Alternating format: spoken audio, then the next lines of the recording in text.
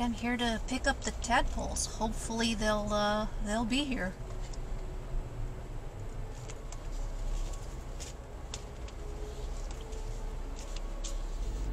All right, let's get these guys home, and uh, hopefully everything will work out. I'm so glad I live so close to this UPS.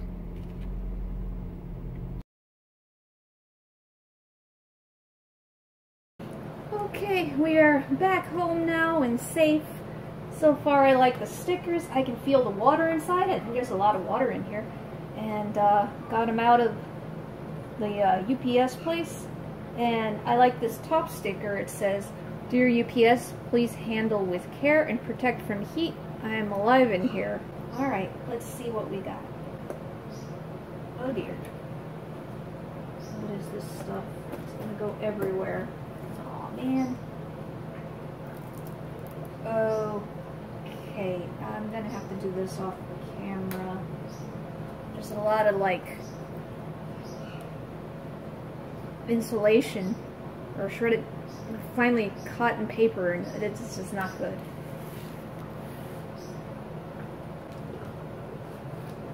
Okay, this, I'm not impressed so far. This stuff is a major allergen. Look at this. This is like, I don't know, the stuff they put up in the attic. Why would you use this garbage? Not impressed. Smells terrible. Could have gotten all into my tanks, which are clean water over there.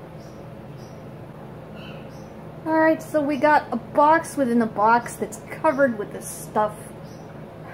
This is not good packaging, people. I am not impressed. Uh, let me clean the box off so I can put it on my clean counter. Oh, and, and look at this. I put a brand new garbage bag in there. And that's what I get to throw out. And I don't think I'm going to throw it out, not in here, because it's going to make a poof cloud. I'm going to do this outside.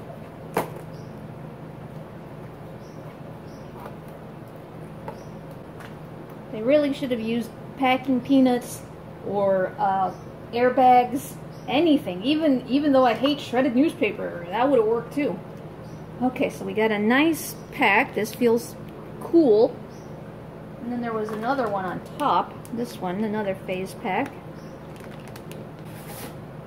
Alright, look at this. We've got like this space age stuff. This is cool.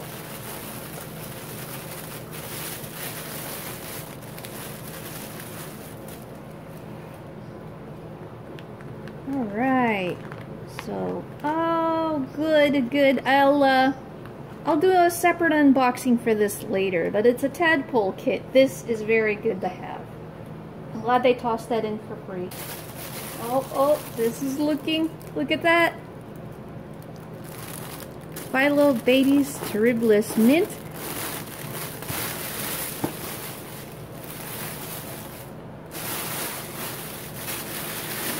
I like this uh, space age lunar lander type thing. And then this is gold like the lunar lander. I'm trying to keep these guys level because this is how they were packaged. Figure out how to get them out. Okay, looks like it just comes off like that.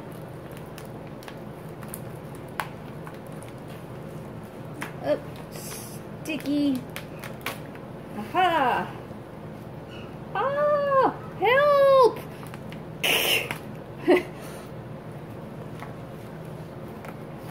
Do we have frogs yet? There will be frogs on this frog tour. I Think they'll have that on the tour?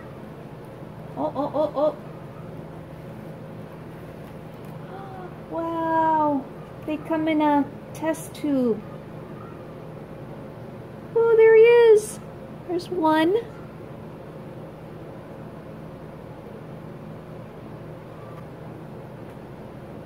Two.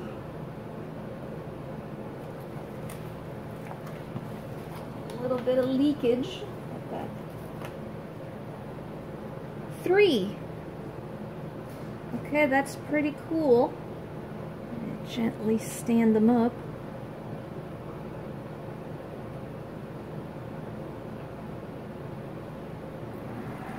Alright, so I have the log in here. I put the drops of the Blackwater e extract in.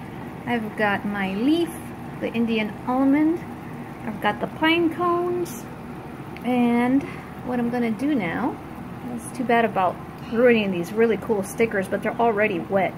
So I'm just to put these so that the temperatures will acclimate.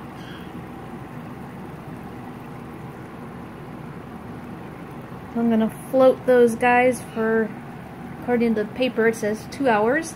And um, this particular type of frog, the Phyllobates, is okay to keep them in a group in one container like this. They won't eat each other anything. And I might add more wood and hiding places in here too so that they have plenty of stuff to do and I'll, I'll make sure I take care of them right.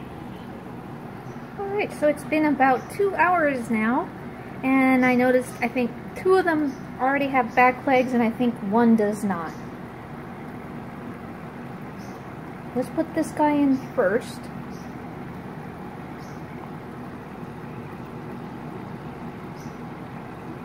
Whoa, there he goes.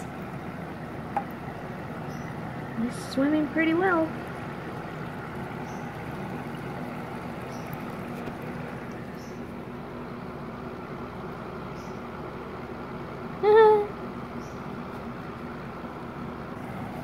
Alright, so now let's do this one. Yep, you can see the legs on that one. Why they shoot us like a, a slide at an amusement park. Meow. Friend's going to check him out. Alright, let's let him out. Oh, that one didn't shoot out like the others did.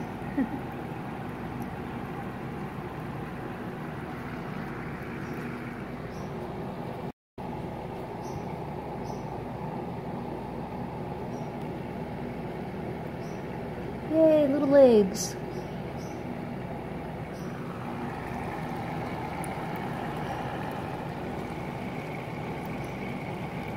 Now these guys, when they uh, first emerge, they're actually uh, brown frogs and they have to grow and it takes a while for them to turn into that pale green that gives them their name being mint frogs. So this is what came with the kit. A little pamphlet on how to build a terrarium. If I can open it.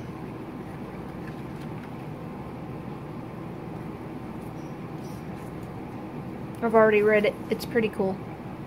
And then it came with some Indian almond leaves, which I have a piece in the tank already. And then this is uh, for making tadpole tea. It's uh, Indian almond leaf extract, so you put some drops in there. It came with a log of cholla wood. Uh, these really cute alder cones. I never knew what these were. I had never heard of these until now until I got into frogs. They are adorable. I didn't know there were such tiny pine cones and everything. And this kind of tree doesn't grow here in Florida, so I had never seen or heard of it. That is really cute. And it comes with three types of food that you're supposed to rotate with each feeding. Um, so we got, uh, this is the one that I fed first, and then you're supposed to feed the, this is like a regular uh, mix that they made of pellets. This is bee pollen, this is spirulina. And then they gave a little tiny miniature spoon, one per frog. I, I don't know. That's kind of crazy. That's okay. I know how much to feed them. Isn't my first time taking care of tadpoles, and these guys over here that I've had first are doing great. So, anyways, yeah, no, that's a, that's a very cool kit and I'm very glad that they added that, so it's just a nice thing. And the uh, tadpoles seem to be settling in. Hopefully they'll grow, and uh, it's kind of neat that uh, some of them came with back legs already, so they're kind of further along than my uh, um, Santa Isabel frogs are. Okay. Alright, so what do I think of Houston frogs after my first time ordering with them? Well, right off the bat, and it was very obvious, I did not like half of the packaging.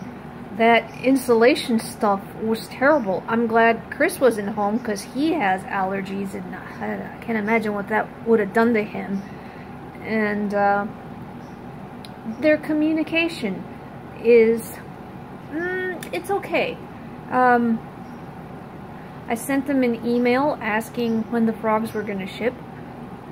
Uh, tadpoles. I'm just going to call them frogs. You guys know what I mean.